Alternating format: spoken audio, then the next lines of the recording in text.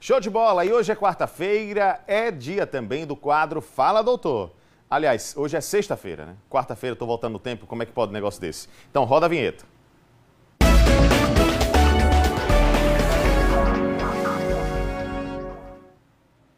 E olhe, a lei que dispensa o aval do cônjuge para a realização da laqueadura para mulheres e vasectomia para homens entrou em vigor na semana passada. A nova regra também diminui de 25 para 21 anos a idade mínima para a realização de laqueadura ou vasectomia no Brasil. A norma foi sancionada pelo ex-presidente Jair Bolsonaro em setembro do ano passado e tinha 180 dias para entrar em vigor. Para entender melhor o que é e como é feita a laqueadora, eu vou conversar a partir de agora e você me acompanha aqui com a doutora Raíssa Oliveira Pereira, que é ginecologista e obstetra. Doutora, muito bom dia para a senhora, seja bem-vinda, é um prazer recebê-la aqui. Bom dia, obrigada. Eu que agradeço a oportunidade de estar falando de um direito adquirido pela mulher na Semana da Mulher. Né? Perfeito. Obrigada. Momento oportuno, né? Exatamente. Vamos à primeira pergunta. Nós temos aqui, doutora, algumas perguntas dos nossos telespectadores. A primeira já está chegando para a gente. Rafaela Machado, do bairro América, pergunta: como é feito o procedimento? Algo básico, mas importante, né? Exatamente. A laqueadura, só popularizando o termo, é a ligadura, né? mais conhecido como a ligadura das trompas ou das tubas. Existem várias técnicas, Lucas, para fazer a laqueadura.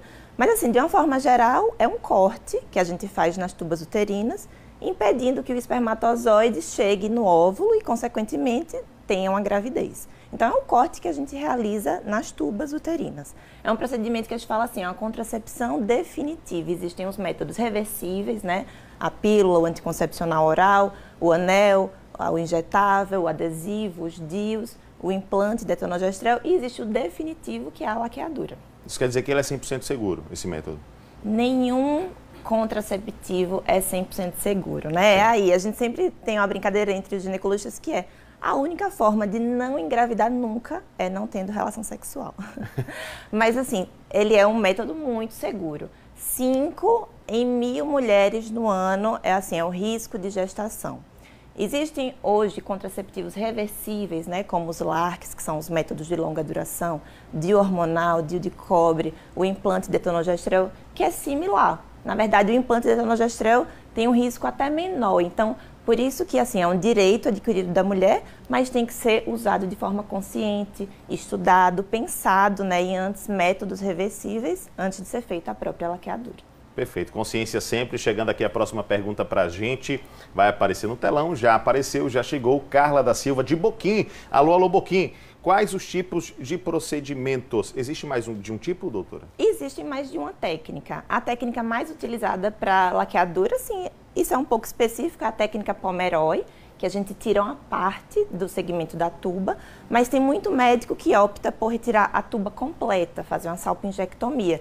E essa pergunta assim, é, é importante porque quando a paciente se arrepende, que é um número é, significativo, né? cerca de 10% das pacientes se arrependem, por isso que tem que ser uma decisão consciente. Então, quando a paciente se, se arrepende e quer fazer uma cirurgia de reversão, o quanto sobrou da tuba é muito importante. Os médicos que optam por retirar a tuba toda, né? Tem paciente que fala, tire o máximo que você conseguir.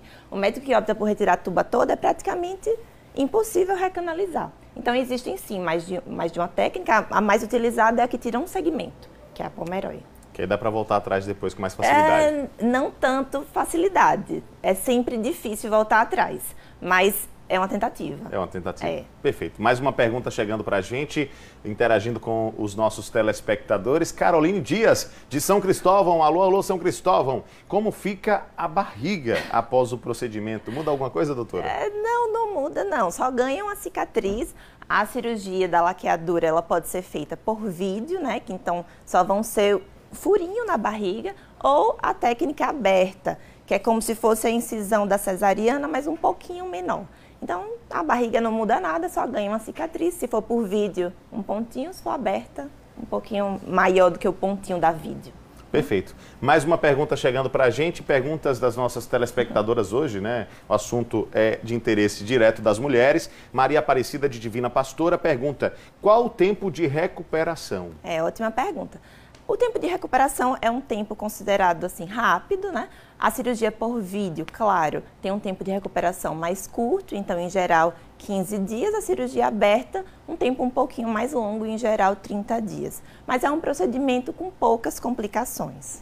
Perfeito, isso é uma boa notícia, né? É bom saber que são poucas as complicações. Mais perguntas? Perguntas no telão, perguntas para serem respondidas aqui pela doutora Josefina Lima, Porto da Folha, que legal. É possível engravidar depois de fazer a laqueadura? Já falamos um pouco sobre é, isso, né? Ótima pergunta, Josefina. Assim, a taxa de, de arrependimento existe, então por isso que deve ser bem esclarecido, estudado, principalmente agora que reduziu para 21 anos. Então, assim, é uma autonomia da mulher, é um direito da mulher poder fazer, mas deve ser feito com consciência para não ter esse arrependimento. E existe, tem como engravidar? Tem, de duas formas. Ou pela fertilização in vitro, né, que seria um procedimento com a taxa de sucesso mais alta, mas a gente sabe que não é acessível para todo mundo, porque tem os seus custos, e tem a recanalização, que como a gente falou anteriormente, é outra cirurgia que vai tentar unir as tubas. Depende muito de como foi feita o procedimento, né? De qual a tuba residual que ali ainda existe. Então tem como engravidar dessas duas formas, ou com fertilização ou tentando a recanalização da tuba. Mas na prática, só faça se você tiver certeza que não quer mais Sim, ter filho. Tem né? dúvida, use um método reversível. Perfeito, perfeito. Vamos aqui a mais uma pergunta. São perguntas dos nossos telespectadores, como eu disse, telespectadoras em especial hoje. A Julie Sacramento, do bairro Atalaia, pergunta: o procedimento pode ser revertido? A gente acabou de explicar, ele Sim. pode, mas com muita dificuldade. Então, essa pessoa que fez essa pergunta, ela já tem dúvida, ela pensa em reverter, então não use esse método, use outro método. Quem pensa em reverter não faz. Não faz. Na Já dúvida, tem não dúvida, faz. não faz. E está resolvido. Usa outro método, outro método. que está garantido que vai poder naturalmente ter filho quando quiser, se quiser, naturalmente mesmo. Mais perguntas? Temos mais perguntas que vão aparecer aqui no nosso telão. Está chegando, já chegou. Maria Pureza, Nossa Senhora da Glória. Alô, alô, galera do sertão. A cirurgia interfere na libido? Não, não interfere na libido. É, quando é feita de forma correta, né? A, a cirurgia da tuba ela não vai envolver os vasos que circulam o ovário. Então, os hormônios, a libido é uma queixa, né? Multifatorial, a gente sempre fala isso. Claro, os hormônios têm envolvimento na libido? Tem, mas tem outras coisas envolvidas na libido. Mas em relação ao hormônio, né, o hormônio é produzido pelo ovário e ele vai pelos vasos que estão circundando o ovário. Então a tuba não tem relação com isso. A tuba ela não produz é, nenhum hormônio, ela pode ser cortada, que não tem interferência nenhuma com a libido. Perfeito. Nós temos mais uma pergunta esclarecendo todas as dúvidas de vocês que estão em casa. Maria Pureza, é Nossa mesmo. Senhora da Glória. Aliás, é outra pergunta, né? Essa é anterior. Vai chegar uma nova aqui pra gente, essa já foi respondida. Agora sim, Marta Oliveira, bairro 18 do Forte, pergunta: quais são os riscos da laqueadura? Pronto. Ótima pergunta também. A gente falou no início que existem poucos riscos, mas todo procedimento cirúrgico ele é inerente a risco. Então tem o risco anestésico, né, que a paciente vai fazer uma anestesia. Tem o risco intraoperatório. Claro, a gente vai fazer uma ligadura de tubas. Então é muito pequeno os riscos, mas existe chances de sangrar muito, existe, existe chance de uma hemorragia, existe chance da gente entrar na cavidade e a barriga ter muitas aderências, que é tá muito coladinho com a bexiga, tá muito coladinho com o intestino, existe. Então, existe a chance da, dos riscos da anestesia, os riscos intraoperatórios e os riscos pós-operatórios, por exemplo, uma deiscência de ferida, que é quando a ferida abre. Então, apesar dos poucos riscos, todo procedimento tem riscos cirúrgicos. Doutora, é, nós encerramos as perguntas dos telespectadores, mas ontem nós recebemos aqui, inclusive, um advogado especialista no assunto, né, direito da mulher e por aí vai, para falar sobre essa situação da laqueadura, essa mudança na legislação. E uma das perguntas que eu fiz a ela é: a mulher que quer fazer a laqueadura, qual o procedimento que deve tomar, né? E aí eu queria eh, repetir essa pergunta para a senhora para que a senhora traga do ponto de vista médico, né? Retorno. Os detalhes da cirurgia a gente já entendeu, os riscos, tudo Sim. isso. Mas tem uma mulher em casa agora, ela quer fazer a laqueadura. Do ponto de vista médico, qual é o procedimento? Quem ela deve procurar? O que é que ela deve fazer? Isso. Ela deve procurar seu médico, né, para falar sobre isso. O médico vai explicar para ela quais são as outras opções que ela tem, porque a laqueadura nunca deve ser oferecida como a primeira forma de contracepção. Então, ela vai entender e vai ser esclarecida sobre os outros métodos que existem, que também são seguros, e como a gente falou, não existe nenhum 100% seguro. A partir do momento que ela deseja fazer a laqueadura, a gente dá o, prazo do termo assinado até o procedimento cirúrgico 60 dias. Então, não é ela pensar em laqueadura hoje e próxima semana marcar o procedimento. Tem que ter um intervalo de 60 dias da decisão, da assinatura do termo até o procedimento cirúrgico.